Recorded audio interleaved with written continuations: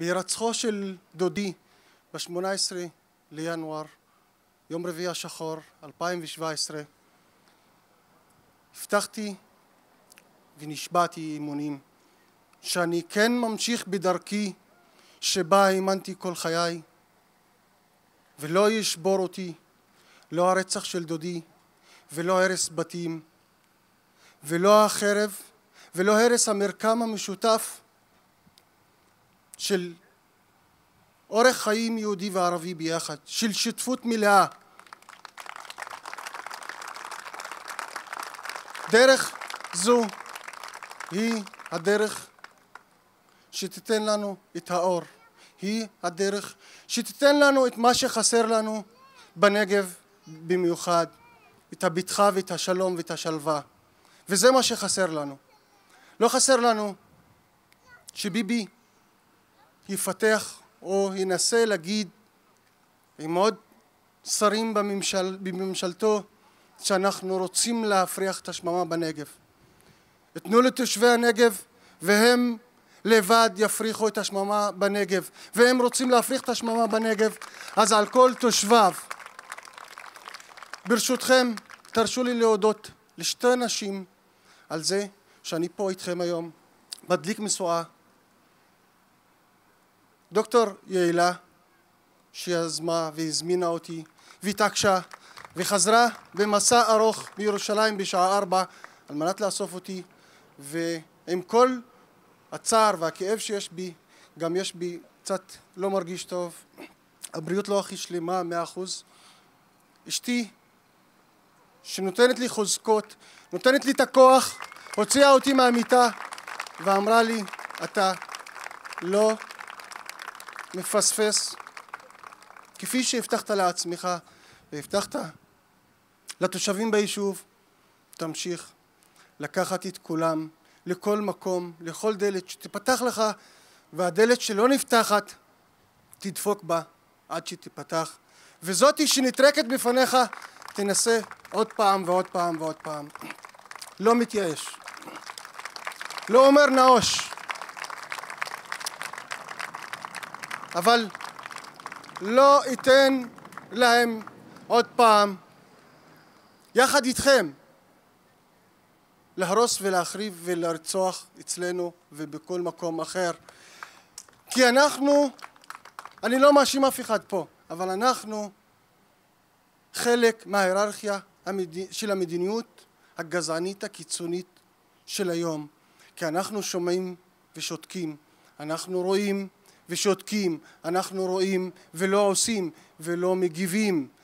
ויש לנו אדם שהוא אלטרנטיבה לנתניהו שעומד בתוכנו באמצע הקהל הזה.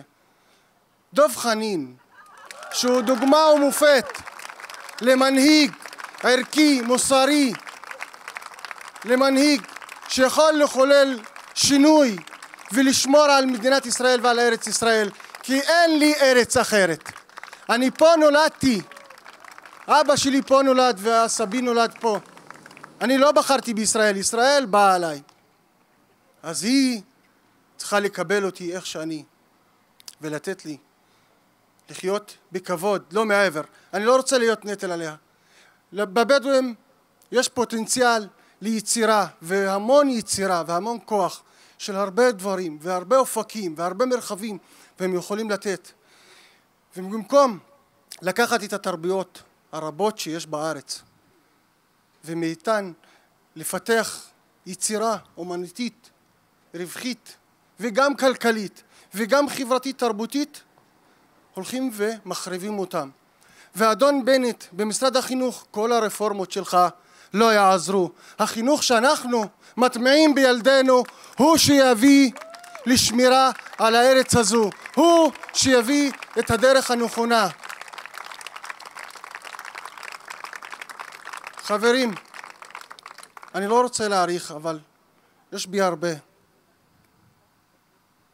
המסר של סבתא שלי שכל פעם אני רואה אותה לפחות פעם ביום או יומיים והמשפט שלה לא משתנה והמשפט שלה מאז הירצחו של דודי לא משתנה היא אומרת לי לא רוצים עוד אסון, לא רוצים עוד אסון. ואני רוצה שזה יגיע לאדון נתניהו ולאדון ארדן ולאלשיך שאמר בן עוולה סבתא שלי וסבא שלי ללא כלום גידלו אותנו עם ערכים, עם חינוך, עם השכלה ועם הכל אבל מה אתם גידלתם? אתם גידלתם דפוסי התנהלות של מלחמה, של עוינות, של אויבות, של איבה, של שנאה וקנאה ואת זה אנחנו לא רוצים בארצנו.